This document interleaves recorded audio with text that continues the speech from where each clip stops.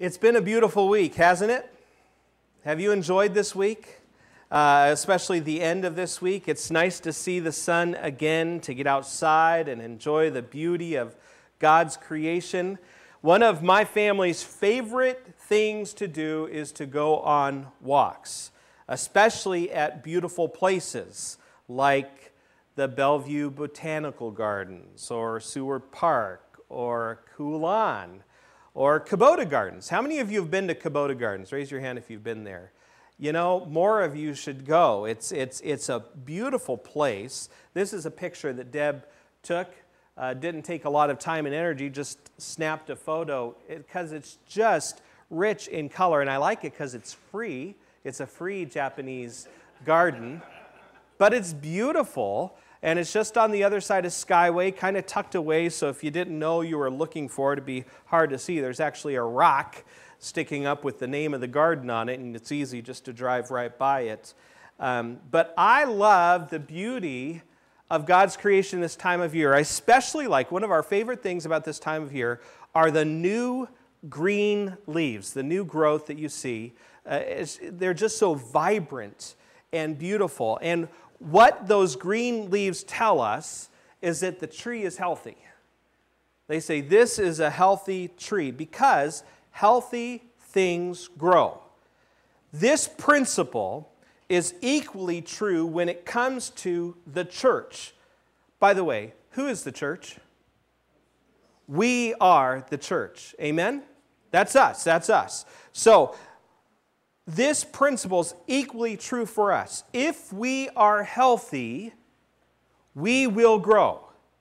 When you talk about church growth, a lot of times the focus automatically turns to numbers. If you talk to anyone about church growth, they think about, oh, well, are you growing in numbers? But though this is one sign of health in a church, it is not a foolproof sign. Uh, I was thinking, when I was thinking about this, I was thinking about. Um, Jim Jones, the cult leader. Uh, he drew thousands of people to him, uh, wasn't necessarily healthy. Um, so, uh, growth in numbers isn't always a foolproof sign. Even though there is some significance, there are far more significant signs of health in the church, like stronger marriages. That's a sign of growth. Children growing up in the fear and admonition of the Lord. New faces of people wanting to learn about Jesus. Freedom from addictions. Learning to love more sacrificially. If our church is healthy, we should see that kind of growth.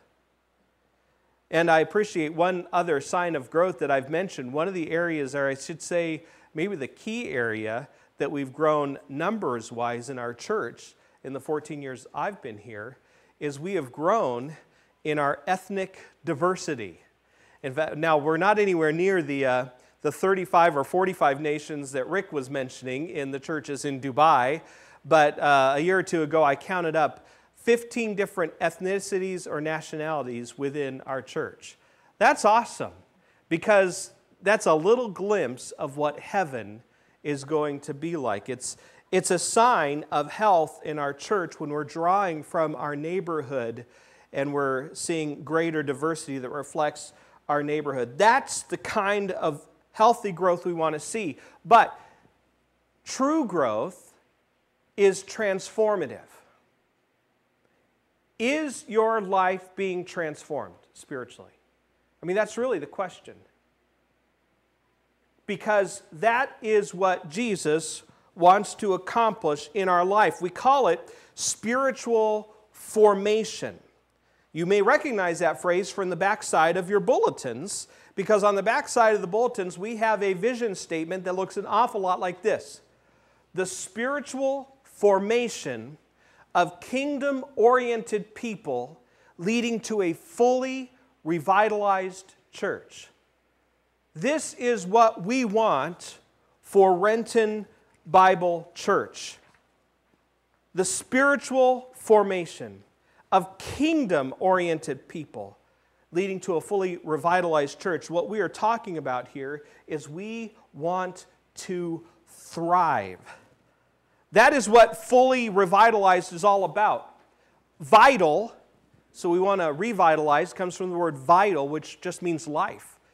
And it's talking about thriving. We want to thrive as a people. So, question Are you thriving spiritually? Because you may be thriving in a bunch of other ways. You may be thriving occupationally or financially. You may be thriving in your recreational opportunities. But there is no kind of thriving as significant as thriving spiritually, experiencing growth. We want to see God's hand at work in our body, producing new growth. I want to see those bright green leaves here at Renton Bible Church. And I do see them in little glimpses, but I want to see them all the more. And how do we get there? We get there through spiritual formation. Listen to one author's definition of what spiritual formation is. Christian spiritual formation is not simply fostering the experience of the Spirit, but rather a radical formation, a shaping and molding of the believer into conformity with Christ through the Spirit. A shaping and molding of the believer. That's what spiritual formation is all about. But he starts off by saying the spiritual formation isn't just experiencing the Spirit. Sadly, there are a lot of people who go to church driven by the desire for an experience. I make me feel warm and fuzzy. There are a lot of churches that cater to that. And listen, I'm not against you having an experience at church, but if you're having spiritual experiences but not being spiritually formed, then something is wrong. Because God is not here just to give us experiences, He wants to form us, to transform us, to conform us to the image of Jesus Christ. So here's my question for you Do you want to thrive more spiritually? Do you want to experience greater radical formation that the Spirit longs to work in your life? Do you desire spiritual formation? We cannot make the assumption that because someone enters a church that the answer is yes. The truth is, genuine spiritual formation is costly. I know that's not what I'm supposed to say, is it? You know, when a salesman is making a sales pitch, they're supposed to say, oh, it's easy and it's cheap. Listen, believers, to grow in Christ is hard and it's costly. There is nothing easy or cheap about it. However, I believe that it's not only the life that Jesus Christ called us to, but it is the best life. I may be, I may be conflicting with books out there that tell you other definitions of what the best life is. But let me tell you, the best life is a life that is being constantly conformed, transformed, changed more and more to the image of Jesus Christ. Radical formation is what Jesus calls us to. Maybe you've wondered why does the pastor challenge me to come to fellowship events after church? Why does he do that? I'm just happy to show up in the service and go home. Why does he do? Or, or why does the pastor call us and say, hey, come to work days? Why does the pastor say, come to an invite challenge dialogue and talk about how you're doing at inviting? I don't, I don't want to worry about inviting. That's, that, that's tough stuff. I'd rather just go to church and, and get my spiritual fill. Why does the pastor challenge us to invite our neighbors or to get involved on life and life groups or to discipline ourselves to be in the Word every day? Can't we just sing some songs, pray some prayers, and call it good? Let me ask you this question Did Jesus simply sing some songs, pray some prayers, and call it good? Or would you say that Jesus challenged his disciples? Which one was it? Yeah, I would say it's the latter. I would say he was pretty challenging. In fact, if you read the Gospels, you see a lot of responses, both from the disciples and from those who are simply in earshot of Jesus, a lot of responses that are incredulous. They're saying, What did you say, Jesus?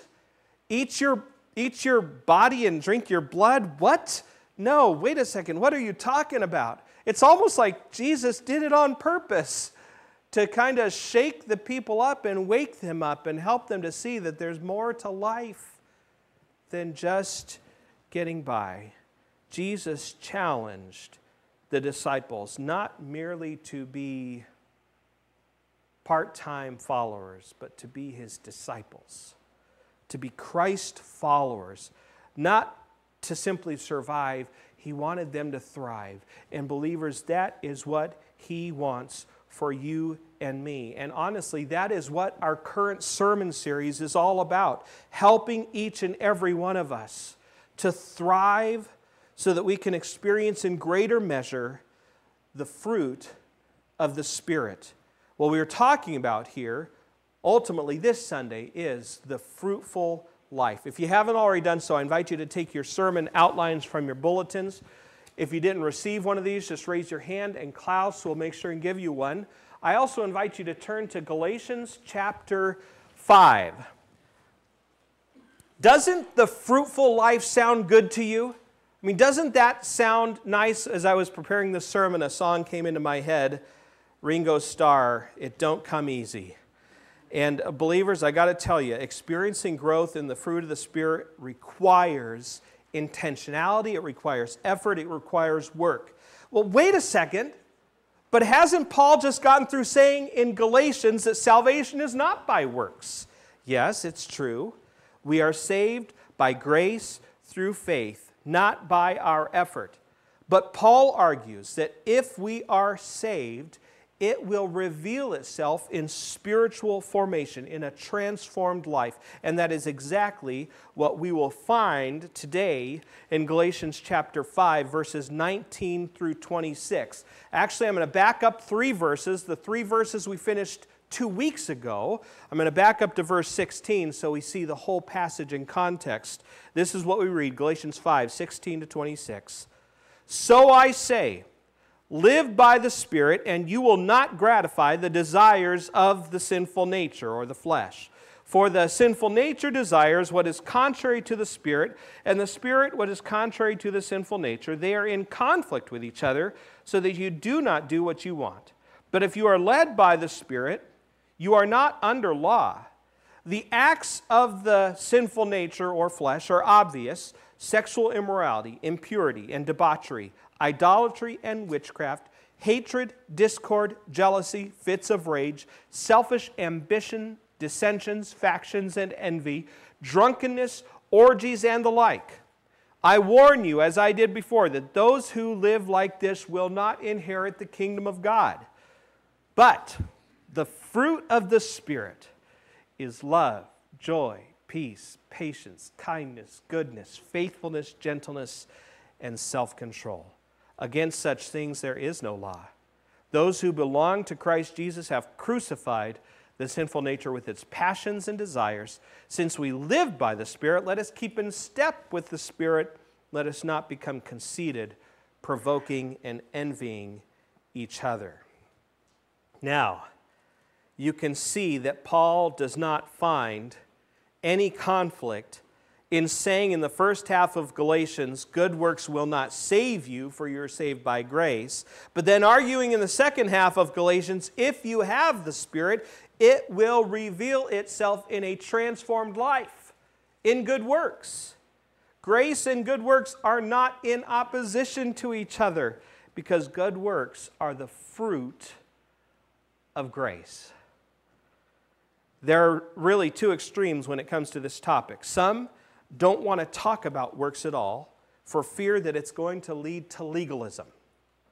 Others want to make works a requirement for salvation, fearing that it will lead to licentious living. Isn't that a great word? Licentious. How many times have you used that word in the last week, right? But it just comes from the word license. You have a license to drive. Uh, some people feel they have a license to sin. Well, I'm forgiven, So I have a license to sin. I can just keep on doing it, and it doesn't matter because I'm forgiven. Paul says in Romans 6, uh uh uh, it's simply not true. Because if you have the Spirit of God in you, you have been transformed, and you cannot go on living that way. You just can't. And so we're going to set aside the arguments, however, between legalism and licentious living. And we're going to focus on what Paul says because really Paul refutes both extremes. We see this in the conclusion of the Bible Project video that summarizes Galatians, which we started a few weeks ago. You may have wondered, are we going to finish it? Well, we're, we're skipping the middle, and I'm just going to show you the very end of this Bible Project video. In this clip, the Jewish religious leaders ask Paul, How will non Jews learn God's will without the laws?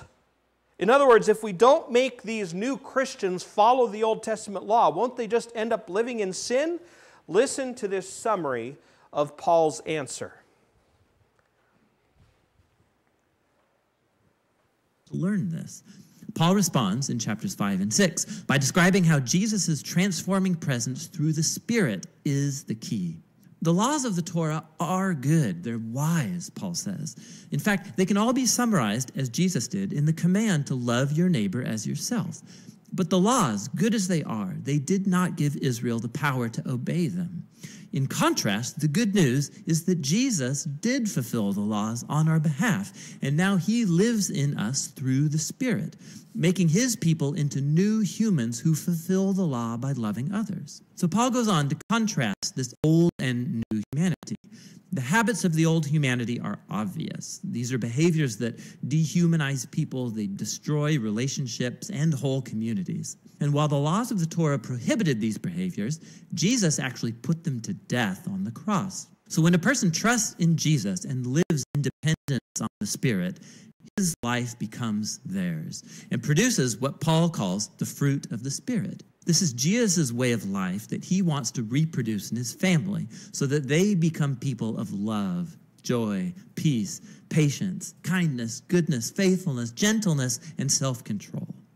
But this fruit isn't automatic, Paul says. It requires cultivation, just like real fruit. Or, in his words, if we live by the Spirit, we have to keep in step with the Spirit. This requires intentionality. We have to learn how to prune off our old habits and cultivate new ones. And as we do so, we find ourselves carried along by the Spirit as Jesus reshapes our minds and hearts and makes us into people who love God and others. And in this way, Jesus' people fulfill what Paul calls the Torah of the Messiah. In the end, Paul concludes this requirement for Christians to become Torah observant or be circumcised is an adventure in missing the point. What really matters is God's new creation, this new multi ethnic family of the Messiah, people full of faith in Jesus who are learning to love God and others in the power of the Spirit. And that's what the letter to the Galatians is all about. Thank you, David and Bill. According to today's passage, and this was a great summary of what we're looking at today, Galatians 5:19 through 26, the fruitful life teaches us to love God and love others in the power of the Spirit, but it refuses sinful patterns. As we saw in this little video, those are what was put to death on the cross. The fruitful Christian refuses and never excuses sinful patterns. We must remove from our vocabulary, the devil made me do it, or no one's perfect, or I'm doing the best I can, because the devil never made anyone do anything. And though it may be true that no one is perfect, not even once does Paul use this as an excuse for sin throughout his epistles or really anywhere in God's Word. And I'm doing the best I can doesn't fly because God doesn't ask you to do the best you can. He asks you to do the best the Spirit can because the Spirit of God lives in you if you've embraced Christ as your Savior and have been forgiven of your sin through His death on the cross and now indwelt by His Holy Spirit. That is the source of the transformation.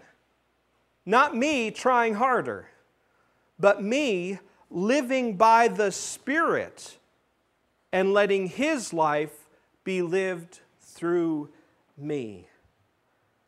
What sinful patterns does he say are not to be in the Christian's life? Well, he lists the first three there in verse 19. If you look, you see the first three sinful patterns that he says, These will not be a part of the life of the follower of Jesus sexual morality, impurity, debauchery. These first three are sexual sins. Like Solomon says, there's nothing new under the sun. Do you know that the same sexual sin that wreaked havoc 2,000 years ago in the early church wreaks havoc even today? Our culture is filled with conflicts over sexual sins, isn't it? I mean, what are all the arguments about and all the discussions and all the, all the, even the political movements are about sexual sin. What Paul says, however, is that sexual immorality is not to be a part of our lives. Paul says if you love Jesus, sexual morality is not even an option. And it has nothing to do with if it feels good, do it. Or as long as I'm not harming anyone, you've heard that one before, or I was born this way. All of these things have one thing in common. Do you know what all those arguments have in common? They are driven by the flesh, my sinful desires, and what I want personally. For the follower of Jesus, the question is not what I desire, but what God desires. Let me, let me just pause. Does that sound odd to you for anyone to be preaching a message that says what you desire is not tantamount? It's what God desires that matters the most. I mean, doesn't that's a little, it's countercultural if you think about it. Because our culture says, I should be able to do whatever I want to do. The Word of God says, no. You were created by a creator who, get, who has designed you for a purpose, and you need to live in accordance with his purpose. By the way, that's the best life. If you want the greatest blessings, that's the best life. But also, in addition to that, anything in opposition to that is sin. Anything that's opposed to God's design is sin. And Scripture makes absolutely clear that all sexual activity outside of marriage between one man and one woman is opposed to God's design and desires for his children. Now, if, if you have a problem with that, you need to know your problem is not with me. It isn't. It's with this book right here, because it's really pretty clear. I mean, this isn't really something where we go, oh, well, you could go one way or the other. Well, if you don't want to treat this book with integrity, you can go one way or the other. But if you're going to let the book say what this book says, by the way, we call it the Holy Bible. Bible simply means book, it's a holy book, it's sacred, which means it's right. And when I have a conflict with this book, I'm wrong and it's right. This is what God's Word teaches. However, here's the interesting thing. Now we're going to switch gears. Ugh, can you feel, feel the grinding in the gears? Because here's the interesting thing about this passage of list of, of sins it doesn't focus in this list on sexual morality. Those are only the first three. It makes the transition. And You know what the focus of sin is in this passage? It is sin related to our relationships with each other. That's what the focus. Look, look at this passage. You can see it here. Now, the first two, verse 20, are focused on sin related to our relationship with God, right? Idolatry and witchcraft. They negatively impact our relationship with God. The rest of those on the list negatively impact our relationship with others. And look again, just if you look at this list, they're, they're all about relationship, aren't they? Hatred, discord, jealousy, fits of rage, selfish ambition, the list goes on. For too long in Christendom, we have obsessed over moral issues primarily for those outside of the church. Do you hear what I'm saying? For too long, we have focused our energies on pointing fingers at those outside the church, saying, oh, you shouldn't be doing this, you shouldn't be doing that. Don't get me wrong. I think it's good for us to, to declare what truth is, like I've done today. I think it's good to do that. But I think it's also good for us to acknowledge that the sins Paul focuses on are sins that we struggle with inside of the church. Like the saying goes, when you point at someone else, you have four fingers pointing back at you, right? And this is Paul's focus. The focus of the church is that we need to deal with the sin that we struggle with. We struggle with these things that he lists. Hatred is the first one he lists here in verse 20. Hatred is talking about hostility. Now, I don't like some of these. I, prefer not hatred because I think it's for us easy to look at hatred and go, well, I don't hate anyone. The word here is just hostility. Do you ever get hostile at anyone because they've offended you? That's what he's talking about. Uh, the next word, discord, refers to strife or being quarrelsome, something, according to F.F. Bruce, that Paul is especially concerned to keep out of his churches. Jealousy comes from the Greek word zealous. That's actually the Greek word zelos, which we translate zeal, right? Zeal can be good, can't it? Paul's talking about zeal when it's not good. He's talking about zeal for my agenda, my views, my will. And that can be very bad. Fits of rage is often excused with, well, sometimes I fly off the handle. Uh, or it's just something I'm really passionate about. That's why I'm so mad. Uh, guess what? Those excuses don't work with Jesus. Uh, fits of rage are not acceptable according to what Paul says here. Selfish ambition results in contention when I don't get my way. Dissensions are the divisions that result from divisive talk and behavior. You know, the little things we say that are negative about somebody else, we kind of cloak them sometime so they're not too obvious. Maybe even a prayer request Lord, help, brother. No, no, no. if we are speaking against someone, causing dissension, Paul says it shouldn't happen. The next word, uh, let me see here, make sure that I'm factions. Factions. And do you know what the Greek word is behind factions? I never, I didn't know this until I studied this week. It's heresy. That's the Greek word, heresy. Now, when you think of heresy, you think of someone who has a bad doctrine, don't you? But Paul's not talking about doctrine here. He's talking about any kind of divisive teaching.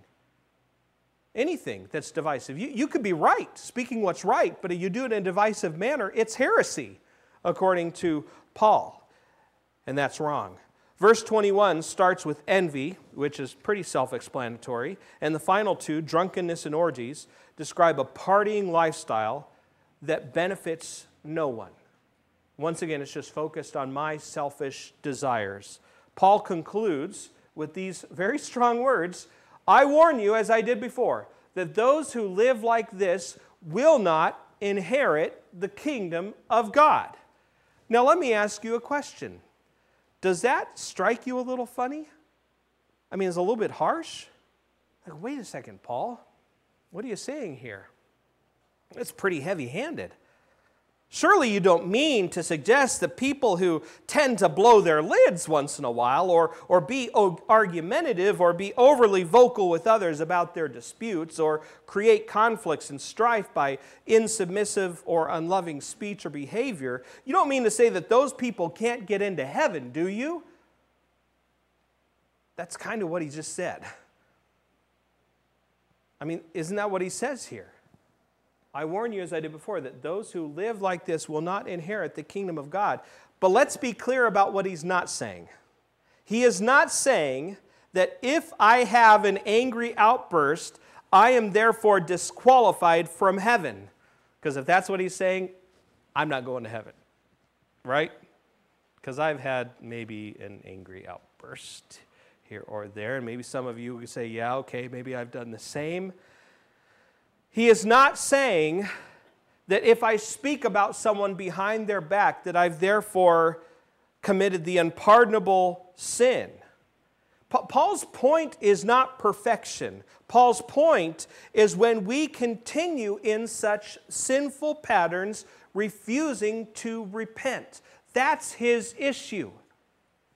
If we engage in such sinful patterns and refuse to repent, when someone comes to us and says, hey, this, this is not good, or when God's word comes to us and says, hey, When we simply excuse it and refuse to repent, that's where the problem lies.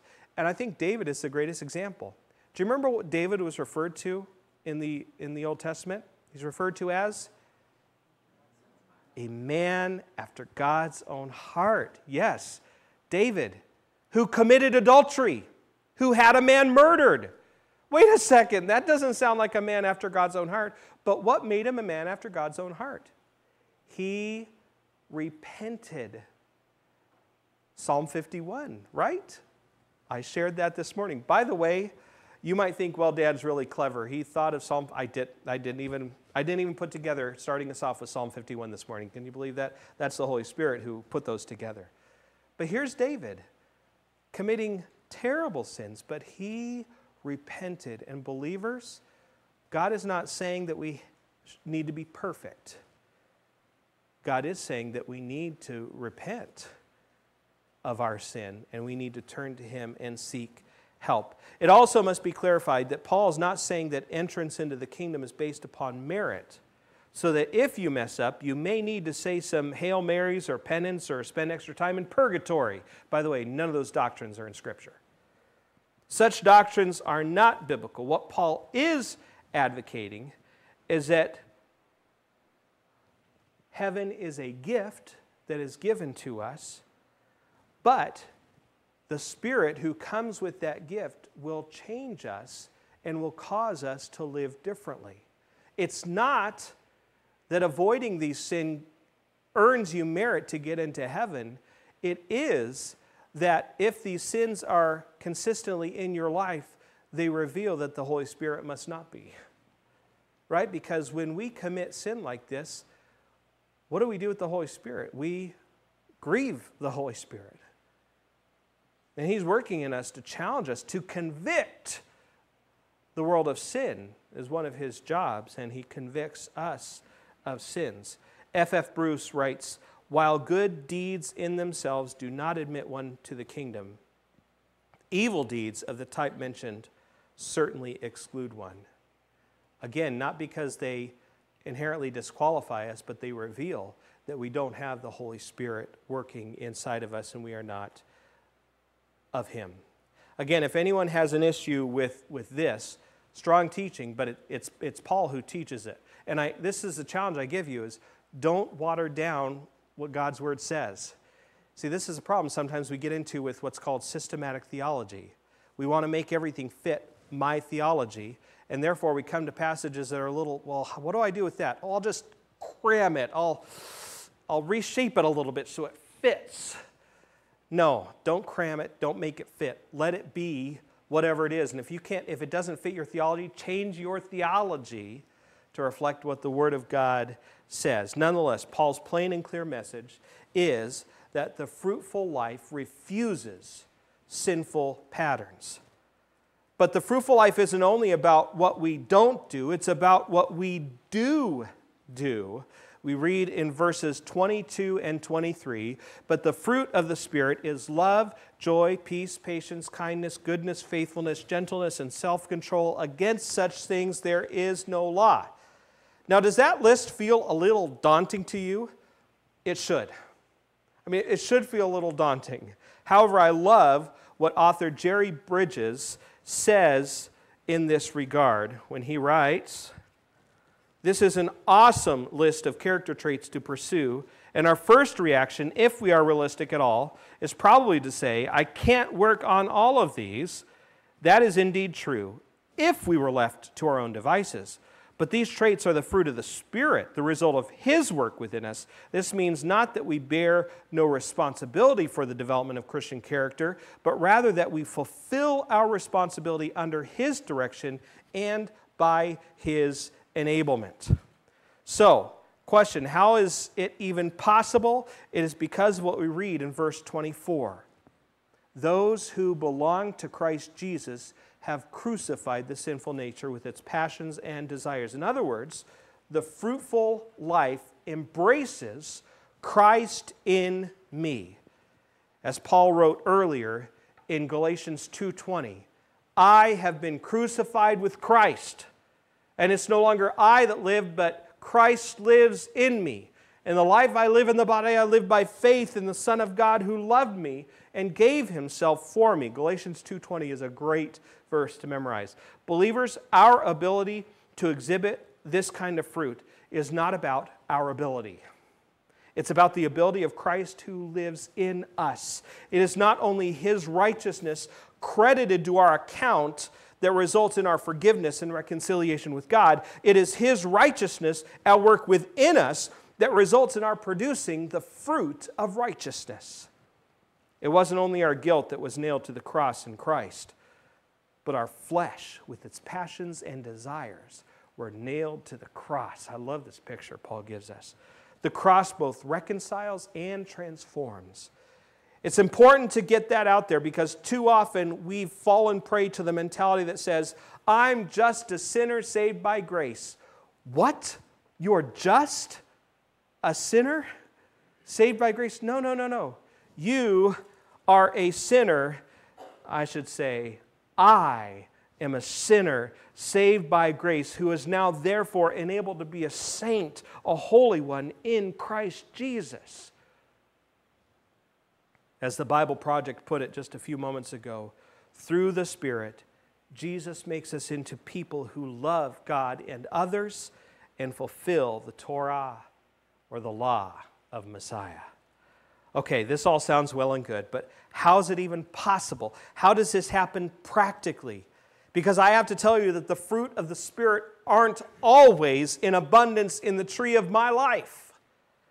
This brings us to the very important 25th verse of Galatians 5, which says, Since we live by the Spirit, let us keep in step with the Spirit. In other words, the fruitful life cultivates a spirit led life. To keep in step with the Spirit means that we follow His lead in how we live out each and every day. I already mentioned that Debbie and I like going on walks. On occasion, we walk hand in hand. You ever do that? We walk hand in hand. And when we do that, Debbie does this funny little dance move uh, to get our feet aligned because she believes we don't. And I, I've never really too. I don't know. I don't know. For some reason, it doesn't really concern me too much. But she'll always do this whole thing. She'll flip her feet so that we're walking together. And it, I just thought of this when you know, keep in step with the Spirit. Are you walking in step with the Spirit? Do you need to flip your feet once in a while and go, okay, wait a second. Oh, you're going this. Okay, I need to do this because the Spirit's leading in this way. Are we walking by the Spirit? This is very much what Paul advocates here that if we would live by the Spirit, we must let Him lead in our daily life, keeping in step with Him. What does that mean? One commentator writes By exhorting his converts to be in line or keep in step with the Spirit, Paul is asking those who claim to live by the Spirit to evidence that fact by a lifestyle controlled by the Spirit. That he exhorts believers to do what it is the work of the Spirit to produce is typical of Paul's understanding of Christian ethics. For Paul never views the ethical activity of the believer apart from the Spirit's work, nor the Spirit's ethical direction and enablement apart from the believer's active expression of his or her faith. And just to boil it down, he's saying that it goes together. We are called to cultivate a life led by the Spirit, but it's the Spirit who empowers us to do that. It works together. How? I don't know. Except that I know that this is what we're taught to do and that we must live by the power of the Spirit, but it requires effort. It requires an active expression of our faith on a daily basis to let Him lead. We have a role to play in cultivating a spirit led life if we would experience the fruitful life. I really appreciate what Jerry Bridges has to say about this. And you may remember that he is the author of what became a classic, The Pursuit of Holiness. Great book. Um, he actually wrote recently, more recently, this book called The Fruitful Life, which when I began to do the series, I didn't remember this, book. I thought, oh, wait a second, I have a book on the fruit of the Spirit. That's probably a good resource to have. Um, and this is what he writes He says, Though the power for Christ like character comes from Christ, the responsibility for developing and displaying that character is ours. This principle seems to be one of the most difficult for us to understand and apply. We need to learn that the Bible teaches both total responsibility and total dependence in all aspects of the Christian life. We are totally dependent on the Holy Spirit. We are totally responsible. They go together, as you see here in Paul's teaching. It is God who works in you, is what another passage says. It is God who works in you. Work out your salvation because it is God who works in you. So, how do we fulfill that role? What does it look like to cultivate a spirit led life? It's spring, and I've been working on my lawn again. I read an article in the paper a few weeks ago that was addressing this topic, where the author advocates that if you want a good lawn, you need to go to some pretty significant lengths. Remove the moss, add new soil, fertilize, reseed, cover with peat moss, and water faithfully. Or, she said, you can just toss some seed and hope for the best. Honestly, I think a lot of us, when it comes to spiritual life, we go for the latter. We toss some seed and we hope for the best. The challenge that Paul gives us here is to be intentional and purposeful in growing by the Spirit. Don't just toss some seed. Go ahead and do that with your lawn because, frankly, who cares if that grows? But in the lawn of your life, cultivate it so that you are increasingly formed by the Spirit into the image of the Son. And so here's some tips for intentional cultivation. First of all, listen to Him. We are like, oh, I'm going to I'm gonna pass that up uh, because of time. It's funny, but not needed. Sorry. I'm going to cut out the funny parts. I'm going to stick with the meat. We need to learn to listen to God's Spirit. Sometimes we are just not paying attention. We're like the little kids, you know, I remember I remember when I was young, mom would call us, we lived on 20 acres, so sometimes we couldn't hear mom, right? Oh, we didn't hear you, mom. I, I admit, I confess it right here. You know, sometimes we're, we're just not attentive to the Spirit and what He is saying and how He is leading. We need to learn to listen to Him. And that means, in part, when we're confronted with a tough decision, instead of working through it all of it in our heads first, let's first talk with God about it. Or when we're confronted with a temptation, rather than trying to rationalize, by the way, it doesn't work. If you start rationalizing a temptation, you're going to commit the sin. Instead, talk to God about it. But you need to be attentive to hear what He's saying if you're going to know that what you're doing is sin. You need to be listening for what he is saying, listening to his still small voice. Second of all, we are invited to talk to him. If you want to cultivate a fruitful life, you need to talk to God. Isn't it amazing that our God invites us into relationship with him, that he listens to us? Sadly, we are often too busy to talk. We're like the kids who go off and leave their parents behind, right? Go off to college and never talk to us anymore. Go to Japan. And no, Jacob's been good with communicating with his parents. But don't, don't be like that kid when it comes to your relationship with God. Talk to him every day. Set aside time every day. Make it priority every day. Because what is more important than talking to your Heavenly Father? And third, we need to obey him. This one may seem a little too obvious, but it must be said, especially in view of the tendency for us to treat sin like it's, it's no big deal or it's out of our control. Listen, now that we have the Spirit in us, there's never a temptation we face except that which is common to man, and God is faithful. He will not let us be tempted beyond that which, by the power of the Spirit, we can say no to. 1 Corinthians 10 13. There is no fruitful life where sin is excused, ignored, or allowed to go on without repentance.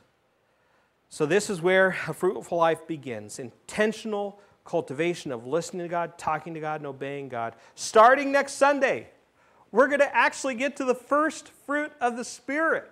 And it's a doozy. So, I'm looking forward to it. Let's pray. Lord, we thank you so much just for the richness of your word and the richness of the challenges that we find here. God, we want to be people who lead more fruitful lives. We desire that. So, Lord, be working inside of us, be transforming us by your Spirit. Even this week, God, help us to be setting aside that time every day to be in your presence so we might keep growing in you conform more and more into your image, Jesus. Change us. We pray in Christ's precious name. Amen. Amen. I invite you to stand for our benediction. Those of you who are interested in the trip to Marseille, France, the House of Hope, that's going to be meeting right after our service today, right? Where is that meeting? Uh, let's make that meeting in the fireside room since I hear no voices uh, coming. So, in the fireside room, if you're interested in that. We conclude this morning with these words from the end of the book of Romans. And this is what Paul prays for the Roman church, and it's what I pray for our church today. Now to him who is able to establish you by my gospel and the proclamation of Jesus Christ, according to the revelation of the mystery hidden for long ages past, but now revealed and made known through the prophetic writings by the command of the eternal God, so that all nations might believe and obey him. To the only wise God be glory forever through Jesus Christ. Amen. Amen.